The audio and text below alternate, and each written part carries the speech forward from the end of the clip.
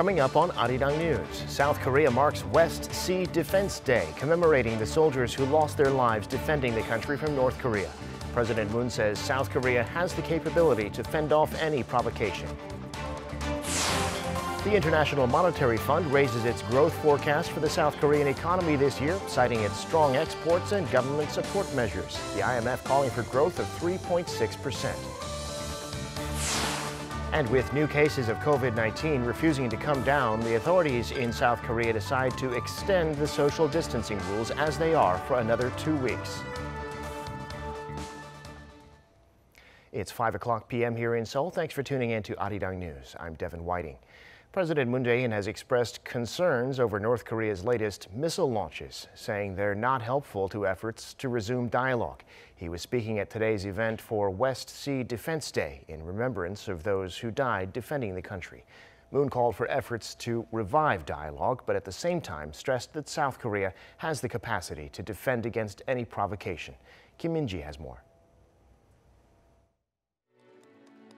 South Korea and North Korea and the U.S. must continue efforts for dialogue. That's President Moon Jae-in on Friday at an event to commemorate West Sea Defense Day, remembering the South Korean troops who died defending the country against North Korea's provocations. His remarks come a day after Pyongyang fired two short-range ballistic missiles into the East Sea. 어제 있었던 북한의 미사일 시험 발사에 국민 여러분의 우려가 크신 것을 잘 알고 있습니다. 지금은 남북미 모두가 대화를 이어나가기 위해 노력해야 할 때입니다. But he also made clear that South Korea remains firm in its readiness to combat all types of provocations. Moon said that while the country will stick to the principle of denuclearization on the peninsula, South Korea's defensive missile capacity is world class and no one can invade the country by land, sea, or air. He also introduced South Korea's new military assets, including a powerful frigate that will set sail in the West Sea from 2023, and a 30,000 ton light aircraft carrier made using domestic technology. They'll be complete by 2033. 어느 때보다 강한 국방력과 굳건한 한미동맹으로 어떤 도발도 물리칠 수 있는 확고한 안보 대비 태세를 갖추고 있다는 것을 국민들께 자신 있게 말씀드립니다. Moon added that the defense of the West Sea is South Korea's pride, something that must create unity among the people, which in turn is the nation's strongest defense. Held every year on the fourth Friday of March, the West Sea Defense Day commemorates the troops killed in the Second Battle of Yeonpyeong in 2002, the sinking of the warship Cheonan in 2010, and the shelling of Yeonpyeong Island the same year. Kim Min-ji, Arirang News. And a day after firing two short-range missiles, North Korea has confirmed that the ones it launched were new tactical guided missiles. However, the regime's state media say Kim Jong-un was not there in person to watch. Our Kim Dami has the details. Confirming its first launch of ballistic missiles for about a year, North Korea said Friday that it test fired new tactical guided missiles the previous day. The regime's Syrian news agency reported that the North Academy of Defense Science conducted the launch of two missiles that accurately hit the target set in the sea some 600 kilometers off the east coast. This is a further than SARS Joint Chief of Staff's analysis of 450 kilometers. Without specifying the projectile type, the North called it a weapon system with an upgraded warhead weight of 2.5 tons. Unusually, North Korean leader Kim Jong-un did not oversee the test. Instead, the vice chairman of the Central Committee of the Workers' Party, Lee Byung-chul, watched over Thursday's launches. It was widely expected that Kim Jong un would preside over the testing. Instead, he attended a ceremony to break ground for building homes for his people. It's a distribution of work, and he toned down the provocation by not overseeing the tests. With the Biden administration due to unveil its North Korea policy in the coming weeks, these latest launches also came just four days after the regime fired two cruise missiles into the West Sea. Thursday's provocation also marks the North's first launch of ballistic missiles since President Biden took office. Kim Dami, Arirang News.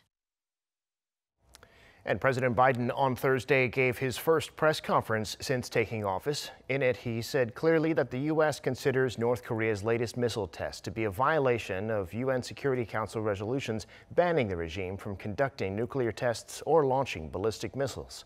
Hong Yoo reports.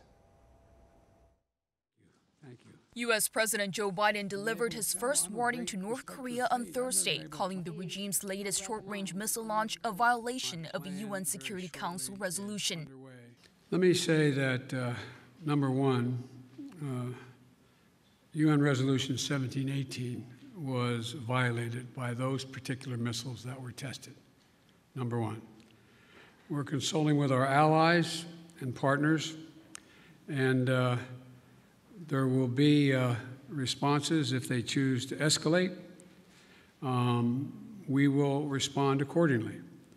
A stark contrast to his muted response to Pyongyang's provocative warning earlier this month against the South Korea U.S. military drills and its launch last weekend of two short range cruise missiles. But he also stressed that his administration is prepared to engage in diplomacy with the regime. But I'm also prepared uh, um, for some form of diplomacy, um, but it has to be conditioned upon the end result of denuclearization. So uh, um, that's what we're doing right now, consulting with our allies. U.S. State Department said Thursday that it condemns what it called North Korea's destabilizing ballistic missile launches. It also said that the North's nuclear and ballistic missile programs constitute serious threats to international peace and security and undermine the global non-proliferation regime. It was much more direct this time in calling Pyongyang's provocation unlawful. This is in stark contrast to how the Trump administration had focused on bringing the North to the negotiating table. And this time, the State Department also brought up its commitment to the ironclad defense of South Korea and Japan, clarifying that while North Korea's short range missiles are not capable of reaching the U.S. mainland, they are a threat to its allies. The UN Security Council Sanctions Committee on North Korea is expected to meet Friday at the request of the U.S. to discuss Pyongyang's latest launches. Hong Yu, Arirang News.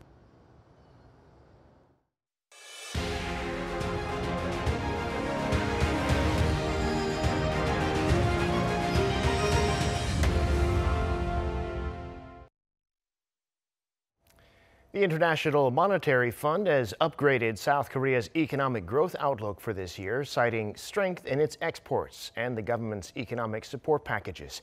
It's now calling for growth of 3.6%, which also happens to be in line with forecasts from investment banks.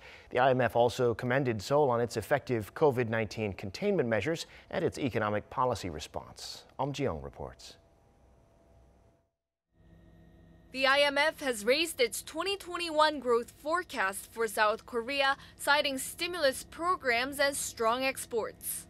In a report Friday, the agency said they expect the South Korean economy to expand 3.6% this year.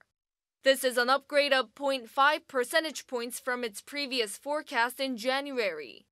The IMF said growth is being supported by solid exports due to stronger external demand and the gradual normalization of COVID 19 related factors.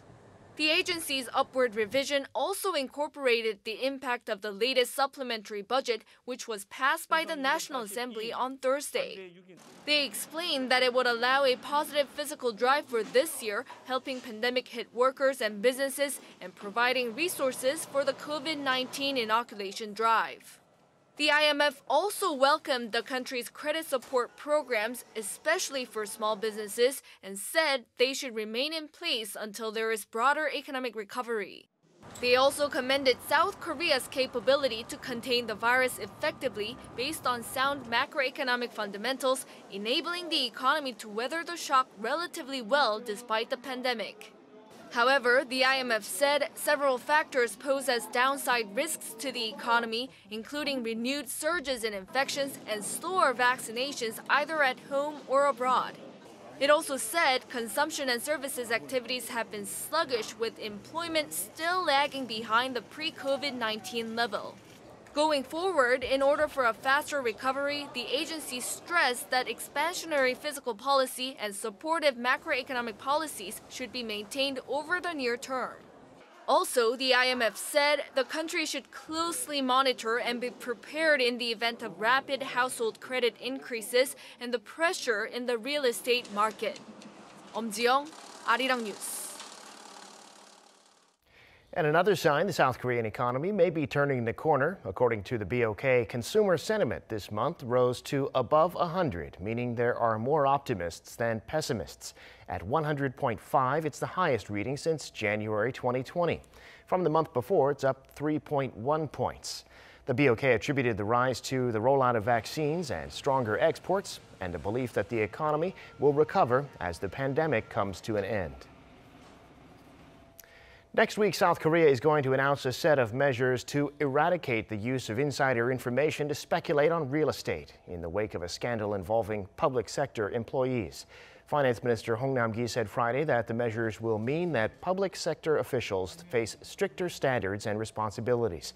There's been a huge public outcry over allegations that employees at the State Housing Corporation, LH, used non-public information to buy land before it was set for development. Despite the scandal, the government is going ahead with its plan to add hundreds of thousands of new housing units to stabilize the market. It's going to announce more locations for those units next week. There seems to be to have been little headway so far in freeing the cargo ship blocking the Suez Canal. It's turning into a logistics crisis, costing shippers and consigners huge losses and forcing some to consider a detour around South Africa. Min Soo Kyun has more. A massive cargo ship stuck in Suez Canal has caused major disruption in one of the world's busiest waterways. With no signs of the ship budging for a third straight day, shipping companies are considering navigating around Africa to avoid the gridlock. In a statement, Danish shipping giant Maersk said it's looking into possible alternatives, including going around South Africa's Cape of Good Hope. But it stressed that nothing has been confirmed and a decision will be made depending on how long the canal remains jammed. The German container line Hapag Lloyd also said it was closely assessing the implications on its services and is looking into possible diversions around the same route. Among the more than 150 vessels currently awaiting passage is a container ship from South Korean firm HMM. One of our 24,000 TEU container ships is on standby near the Suez Canal and it's been there for two days. A decision on whether to make a detour around South Africa will be made next week after reviewing the situation. While rerouting around South Africa significantly increases the trip's length, which would add extra costs, shipping companies appear to believe that a prolonged blockage in the canal will lead to bigger financial losses.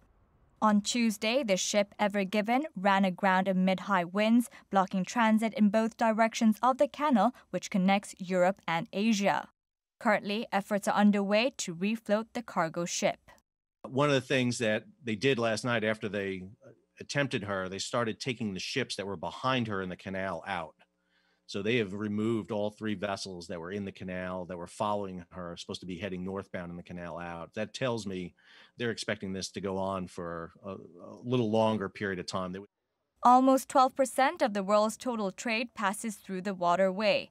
The blockage in the canal is expected to disrupt global supply chains, and according to UK shipping news journal Lloyd's List, it's causing a loss of almost 10 billion US dollars of oil and goods per day. Min Soo Kyun, Arirang News.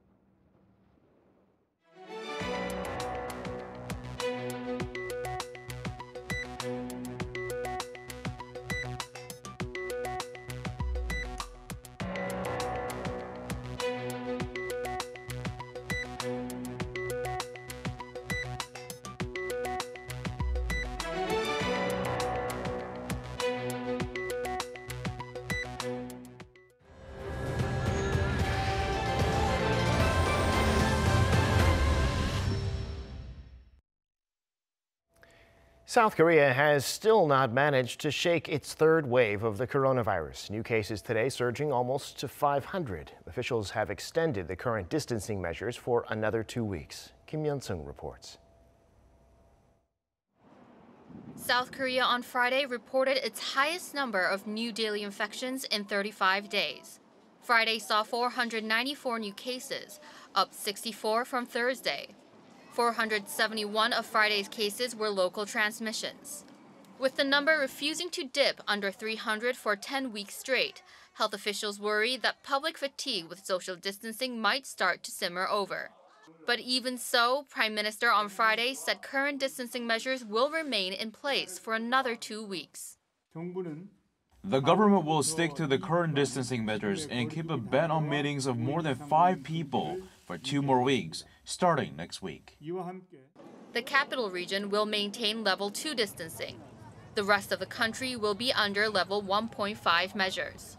But with spring kicking in, so are new concerns about virus prevention. As more people visit parks and attractions to see the spring flowers, we have concerns about more infections popping up. We will impose special prevention measures in parks, forests, amusement parks, and at local festivals from March 27th to April 30th. In an attempt to nip the third wave in the bud, the government also says it will see if prevention measures are being abided to on transportation services, at resting stops on highways, and at places nearby or related to public attractions.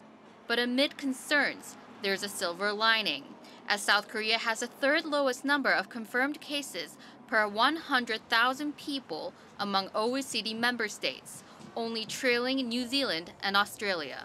Kim Hyun-sung, Arirang News. Last year, South Korea had to cancel its cherry blossom festivals as the pandemic took hold. People were even stopped from sitting in the park to look at them on their own. This year, unfortunately, the events will be canceled, but venues are at least letting people in. Kim Do-yeon reports. Spring has sprung at last, but the winter called COVID-19 is yet to pass. This district in the southeast of South Korea symbolizes the welcoming of spring as it's famous for world-class cherry blossom scenery and a festival called Gunhangje.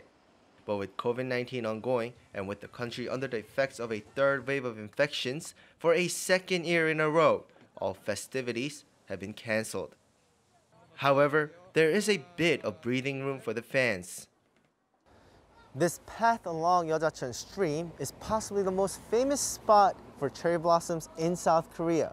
While the stream was closed for visitors during last year's peak season, this year, people are still allowed to take a stroll and enjoy the flowers. Despite not rejecting visitors, the district isn't exactly asking for people to come. There were pros and cons to shutting down the venues last year. Of course, it was the first time we endured a pandemic, so we were inexperienced. However, we've lived through it for a year and now people know how to act. Also, the economy has been really bad and district's residents had differing opinions on whether to hold the Gunhangje this year, so we had to settle with this decision to not stop anyone from visiting at least. In 2019, the last time the event was held, more than 4 million people came to enjoy the flowers. While last year there were none, the district does expect some visitors regardless of the absence of events. We were visiting our grandmother nearby and thought since the festival is canceled, there wouldn't be many people here. We felt safe coming, but there actually are a lot of people, so we're going to quickly look around and leave soon. Usually, the district would set up extra portable bathrooms and provide more convenient atmosphere for the visitors, but nothing of those this year plus some activities that are likely to expose people or spread the virus, such as this monorail leading to the top of a local mountain overseeing the city, have been closed. The festival was supposed to kick off on the 27th this year, and after last year's cancellation, many had hoped that the show would go on, but reality forced organizers to think otherwise, something other events may have to face as COVID 19 continues past one year. Kim Do-yeon, Arirang News, 진해. In other news, the leaders of the European Union held a virtual summit on Thursday to discuss a number of pending issues, such as the need for vaccines to be distributed fairly, as well as the resurgence in several European countries of COVID 19. Lee Sung Jae tells us more. A shortage of COVID 19 vaccines, spikes in new cases, the feud with the UK, and a number of other internal quarrels these were some of the issues discussed Thursday during a virtual summit among EU leaders. Among the hottest issues was the lack of vaccines available in the bloc. Three months after vaccination campaigns started, under 5% of the bloc's 450 million people have been fully vaccinated. According to German Chancellor Angela Merkel, the problem lies with production rather than the orders that they have been made. The problem with the vaccination distribution at the moment has less to do with how much was ordered and is more about how much can be produced on European soil. We have seen now that British production sites are manufacturing for Britain and the United States is not exporting, so we are reliant on what can be produced within the EU. In order to ensure a steadier supply, the EU's executive arm has proposed strengthening export controls on vaccines. The European Commission aims to force vaccine manufacturers, especially AstraZeneca, to deliver the doses agreed to in their contracts, even if the move is detrimental to non EU nations. However, the conflict over fair distribution within the EU was raised. Austrian Chancellor Sebastian Kurz accused some countries of receiving more than their fair share, as Austria led a coalition of six countries asking for the distribution process to be changed. However, the majority of EU members believe the current system is working well and instead said Austria is making a mistake focusing on AstraZeneca instead of diversifying its vaccine portfolio. To help countries struggling with vaccine procurement, the EU is examining ways to fairly distribute the 10 million additional Pfizer BioNTech vaccines made available to the bloc in the second quarter. Lee Seung-jae, Arirang News. The U.S. and the U.K. are putting new sanctions on military controlled firms in Myanmar. Washington has strongly condemned the military's violence against protesters and against young children in particular. Choi Min Jung reports. The United States and Britain imposed new sanctions on Myanmar, targeting the military's economic interests and resources. The U.S. Treasury Department on Thursday blacklisted Myanmar Economic Holdings Public Company and Myanmar Economic Corporation, two conglomerates that contribute significantly to the military's economic resources. This means that any assets the companies control in the U.S. will be frozen, and American companies and citizens will be prohibited from trading or making transactions with the entities as well. In a coordinated move with the U.S., the British Foreign Ministry announced on Thursday that it would also impose sanctions on Myanmar Economic Holdings Public Company. Citing serious human rights violations, the British Foreign Secretary said that the sanctions will help drain the sources of finance used to suppress civilians.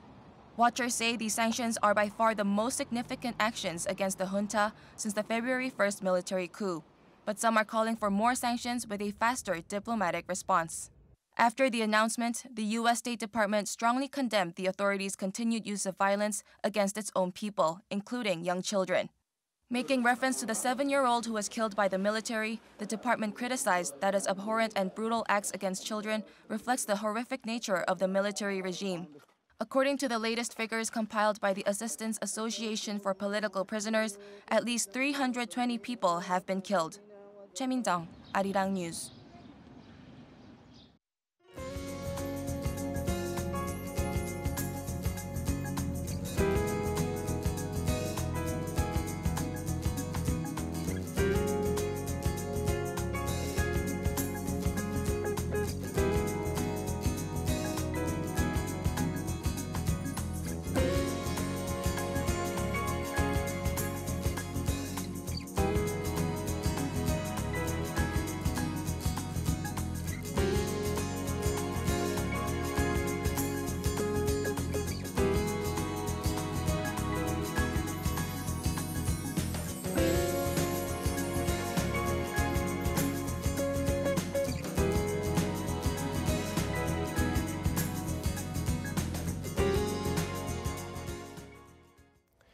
And that brings us to the end of this newscast. Thank you for watching. More live news coming your way at 7 p.m. Korea time.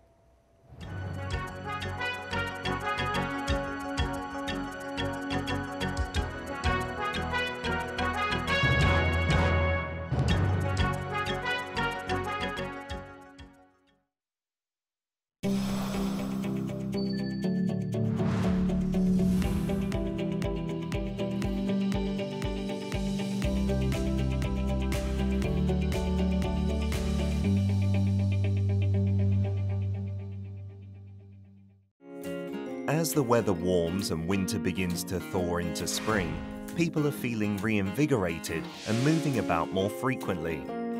Though we all want to enjoy the warm weather with those around us, we cannot become lax with the risk of COVID 19 infection. Because cold symptoms are more common this time of year and could easily be confused with COVID 19, we